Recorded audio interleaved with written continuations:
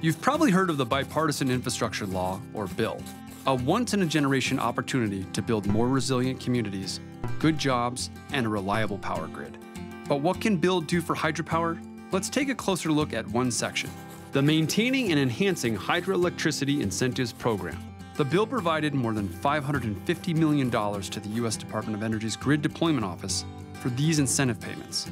Under this new program, existing hydropower facilities can apply to make capital improvements related to three main areas grid resiliency, dam safety, and environmental conditions. Safer dams and improved environmental precautions like fish passage technologies could help hydropower facilities protect their local ecosystems, wildlife, and communities. And hydropower improvements could help integrate more renewable energy like solar power and wind energy into the electric power grid. Check out our Maintaining and Enhancing Hydroelectricity Incentives Program webpage at energy.gov forward slash GDO forward slash hydro.